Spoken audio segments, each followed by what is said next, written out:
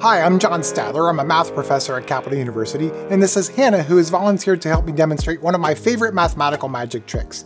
Not only will I show you what the trick is, but I'll also teach you how to perform it. For the trick, you'll need 27 playing cards. It doesn't matter what 27 you use, just give them a good mix and then hand them to your volunteer. Now have them lay out the cards into three piles of nine cards each in the fashion left, middle, right, left, middle, right, and so on. It's very important that we keep that pattern as we go. Once they've laid out all the cards, have them mentally pick a secret card and hold it in their mind throughout the remainder of the trick. Once they've told you they have their card, Got it. awesome, uh, have them take those three piles and make them into three nice, neat stacks.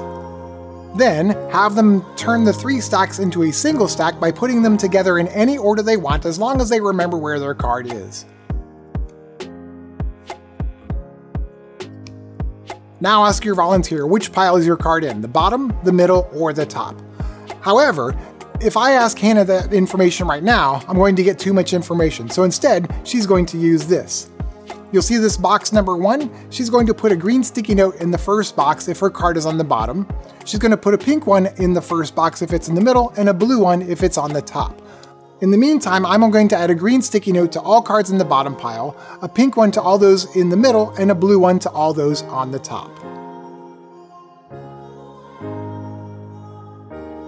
Now we do that two more times. Have them pick up the cards and turn them face down, and deal out the cards in the same way as before. Left, middle, right, left, middle, right, left, middle, right. It's really important that they keep this. Once they have dealt out all the cards, make sure they know where their card is, have them take all the cards and push them into three nice neat piles, then have them stack the piles into a single pile in any order they want, making sure they know where their card is. And at this point, ask the volunteer, is your card in the bottom, the middle, or the top? Once again, Hannah's going to give me that information in secret by placing the green sticky note in the second square, a pink one in the second square if it's in the middle, and a blue if it's on the top. She'll put the green one there if it's on the bottom. Again, I'm going to add a second sticky note to each of the cards, green for bottom, pink for middle, and blue for top.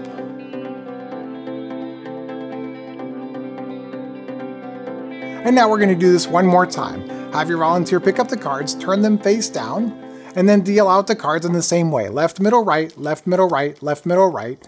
Once they have found their card, have them give a thumbs up to let you know they found it, ask them to push the piles into three nice neat stacks, then let them put the stacks into a single stack in any order they want, provided they remember where their card is. At this point, you'll ask them, is your card in the bottom, the middle, or the top? Once again, Hannah is going to make her selection by placing the appropriately colored sticky note in the third box, and I'm going to add a third sticker below each of the first two, green for bottom, pink for middle, and blue for top.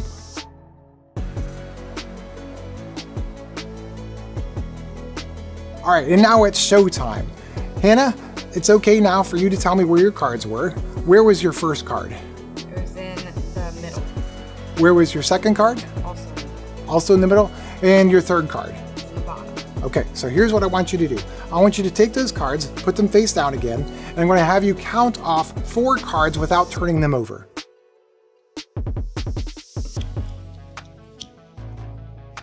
Okay, Hannah, what was your card? Four of hearts. The Four of Hearts. Turn over that next card. There you have it. We found it. So the question is how? Well, let me show you something else here.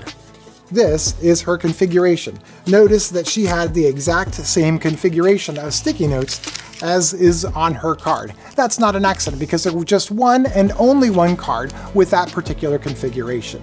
I've gone ahead and restored the deck to its original order, and you notice that all of the cards have a different combination of sticky notes on them. If you look closely, you might even be able to detect a pattern, and here was Hannah's card.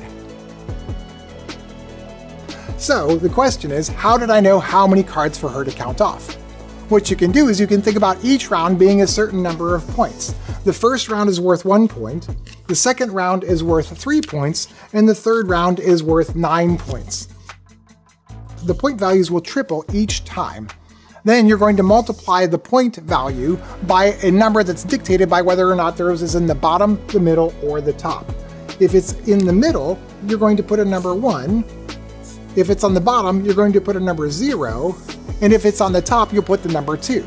Then you'll multiply these numbers together and add them up, and sure enough, we'll get the number 4, which is exactly how many cards Hannah had to count off before finding her secret card. I want to thank Hannah for helping me demonstrate the trick. I want to thank you for watching, and I really want to encourage you to give this trick a try. It takes just a little bit of practice, and it really shows the beauty of mathematics.